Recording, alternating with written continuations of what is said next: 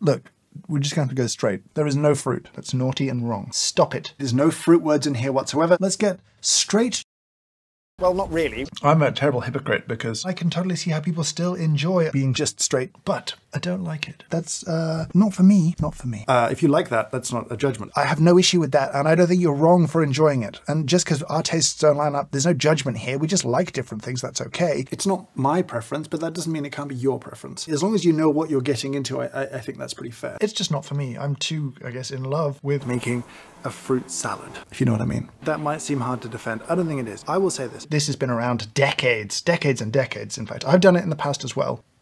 That might be scandalous, I don't know, but it works for me. I know some people get kind of weirded out by A little fruit. uh, and and there can be a bit of othering going on.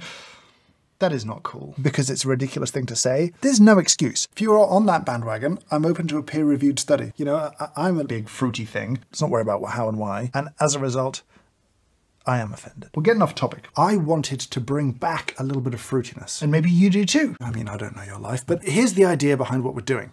Pain. So we're going to do that right now because I know you all enjoy watching me suffer. and I have some sort of thing where I want to perform like self-flagellation of my face.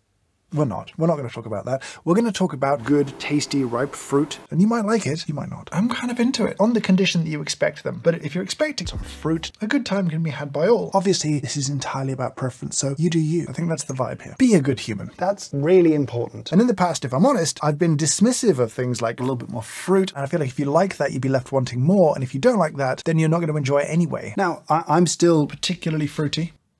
You can argue about that if you want to, but I feel good about it. Now, at this point, You might be like, why are you doing this? And that's a good question. You should always ask that question. All of this is, of course, in service of me creating what I hope will be, a mild fruity note, but that's my job, and I revel in it. Um, I don't really know why. because that's kind of weird. But weird is good. It'll have more fruity kind of qualities, interesting fruitiness, not kind of funky fruit. Is that unusual to you? Is that a, an experience you've yet to have in life? One I would recommend. I hope you'll try it. I hope you'll experiment, and I hope you'll tell me what you thought down in the comments below. I'd love to hear from you. Did you learn something today? What surprised you about all this, or was it all exactly as you thought it would be? For now, I'll say thank you so much for watching. I hope you have a great day. If you don't get that joke, I'm I'm not explaining that for you.